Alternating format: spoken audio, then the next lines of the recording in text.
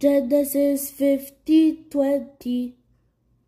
But as for you, ye thought evil against me, but God made it unto good to bring to pass as it is this day to save much people alive. Genesis 50 20. But as for you, ye thought evil against me, but God meant it unto good to bring to pass as it is this day to save much people alive. Genesis 50 20.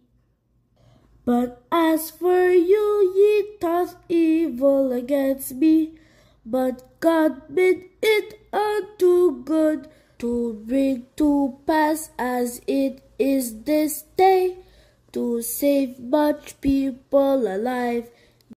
Genesis 50 20.